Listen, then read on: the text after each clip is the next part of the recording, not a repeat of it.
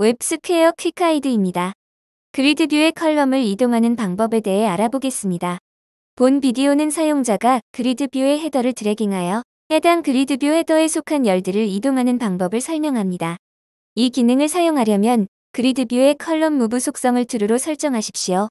예제를 통해 확인해 보겠습니다. GridView입니다. 브라우저에서의 모습입니다. header를 dragging할 수 없습니다. 즉, header를 dragging하여 column들을 이동할 수 없습니다. 이 경우 스튜디오로 돌아와서 GridView의 columnMove 속성을 true로 설정하고 저장합니다. 화면을 다시 로딩합니다.